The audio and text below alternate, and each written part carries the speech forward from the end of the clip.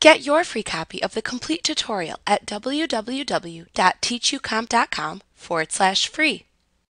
If you use QuickBooks and subscribe to the QuickBooks Enhanced Payroll service, you can take advantage of the Workers' Compensation Tracking feature to manage tracking workers' compensation hours and make the required payments. You must, however, set up the Workers' Compensation feature before you run a payroll. If you do not, the information may be inaccurate or incomplete.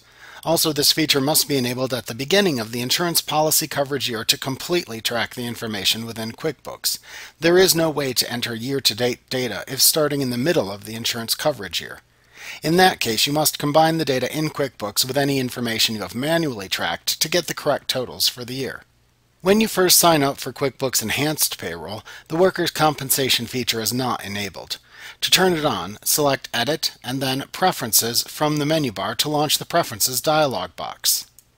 Here you can select the Payroll and Employees icon from the list at the left side of the dialog box. Then click the Company Preferences tab at the right side of the dialog box and click the Workers' Compensation button within the tab to open the Workers' Comp Preferences dialog box. Place a check mark into the Track Workers' Comp checkbox to enable the feature. You can also check the Display Message to Assign Codes checkbox to enable a classification prompt when entering employee hours into the Pay Employees or Time Tracking windows. You can also check the Exclude Overtime Premium from Workers' Comp Calculation checkbox if your workers' compensation insurance company directs you to treat all overtime hours as if they were paid at the regular wage rate. After setting the desired options, click the OK button to return to the Preferences dialog box. Click the OK button in the Preferences dialog box to save the change to your company preferences.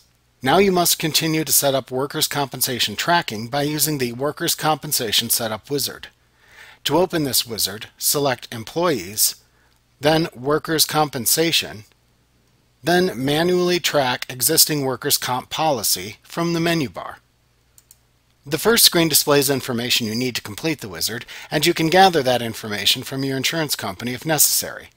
Then enter the information into the screens and click the Next button to move through the wizard. After you have set up the employees and what codes they are assigned by default, you can issue paychecks as normal and the workers' compensation will be accrued as you issue paychecks. If you assign a default workers' compensation code to an employee, that code will be used by default when issuing paychecks or entering hours in a timesheet. However, you can change the code used for any earning line item in these windows if needed. You can view the workers' compensation information in the Preview Paycheck window as you review the employee paychecks. When it comes time to pay the workers' compensation premiums, you can first run a workers' compensation report by selecting Reports then Employees and Payroll, then Workers' Comp Detail from the menu bar. You can verify the amount to pay and where it came from using this report.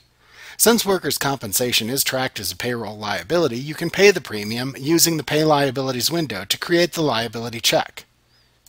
You can also create and modify the codes used for workers' compensation classification in the workers' comp list. You can open this list by selecting Lists and then Workers' Comp List from the menu bar when you have Workers' Compensation Tracking enabled. You can enter new codes and enter and edit experience modification factors used for the calculations if needed. Like what you see? Pick up your free copy of the complete tutorial at www.teachucomp.com forward slash free.